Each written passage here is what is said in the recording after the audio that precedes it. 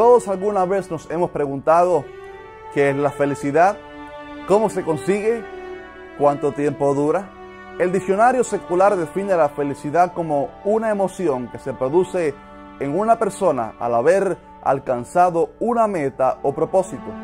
No obstante, vemos que si nuestra verdadera felicidad dependiera de cuántas metas consiguiéramos, ¿no te parece que entonces nuestra felicidad sería muy breve e inconstante?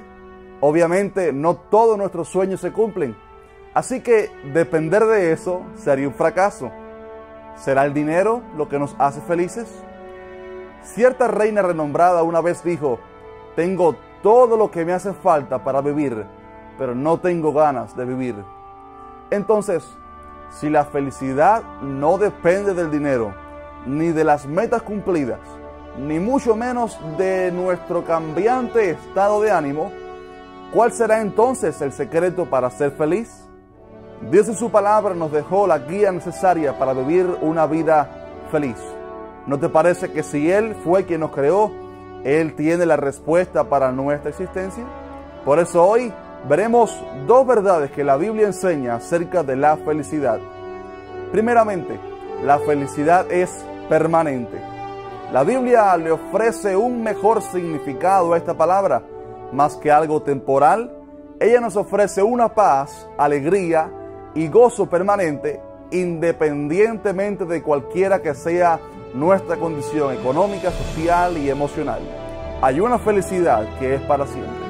El apóstol Pablo, quien escribió muchas de las cartas que existen hoy en la Biblia, él dijo en Filipenses 4:11, he aprendido a contentarme cualquiera que sea mi situación.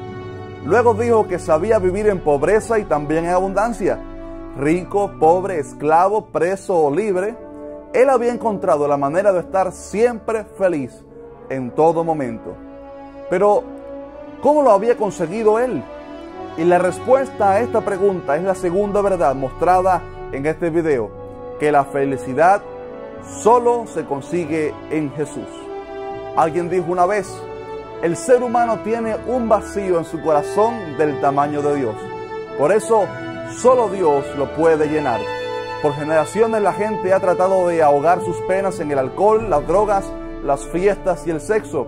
Pero al llegar a sus casas y acostarse en la soledad de sus corazones, se han dado cuenta que ese gozo aparente fue como un espejismo, algo pasajero e irreal. Por otro lado, Jesús dijo en Juan 14, 27, la paz os dejo, mi paz os doy. Yo no la doy como el mundo la da. La Biblia describe la felicidad que Dios da como una paz que sobrepasa todo entendimiento. ¿Qué significa esto? Que cuando tengo a Jesús en mi corazón, recibo una paz inmensa que no la puedo explicar, porque aunque vengan tormentas a mi vida, Él me da una paz que me hace sentir feliz en todo momento. Si has buscado la felicidad y no has podido encontrarla, prueba a Jesús, pues solo en Él puedes encontrar la satisfacción y propósito para tu vida. Si quieres invitarlo a que viva en tu corazón, dile estas breves palabras.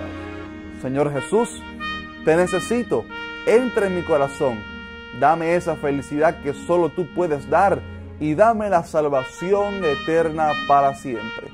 Te reconozco como mi único Señor y Salvador.